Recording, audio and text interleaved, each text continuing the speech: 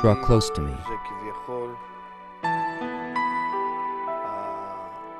Draw close to me is a call that comes from the Creator to a person that awakens him to draw closer.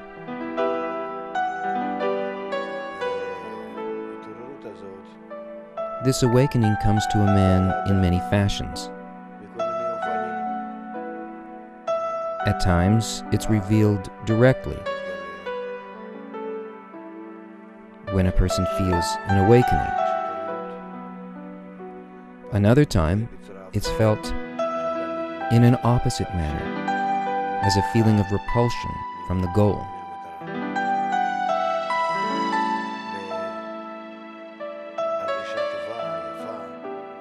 One time, it's a good, beautiful feeling, like a bright, happy morning.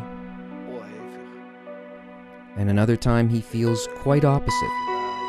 It feels like some kind of a fall, a descent, some unclear state, a state that can even be critical. This is also an awakening. As long as a person feels that he's in some kind of motion,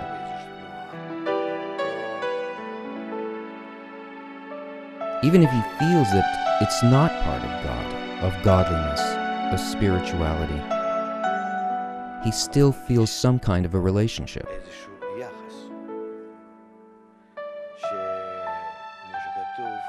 As it's written in the Torah, that Pharaoh is the one who brought the people of Israel closer to their Father in heaven. There are cases where the evil force brings one to advance more than the good force.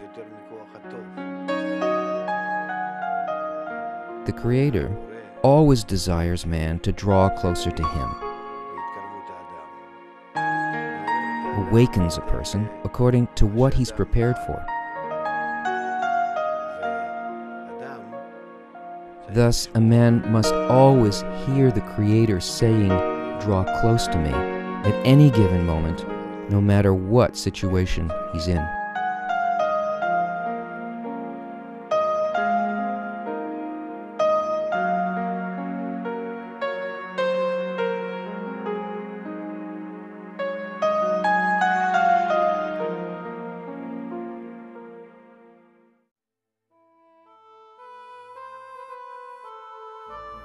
As was stated, those who sing praises at night raise by their singing all whose souls sing that song. When the lower one begins life by song, the upper ones help the lower ones with power, so that the lower ones realize and attain what the mortals are not able to attain. The heavens and the earth, Zeir Anpin and Nukva, rise by this power thanks to this singing.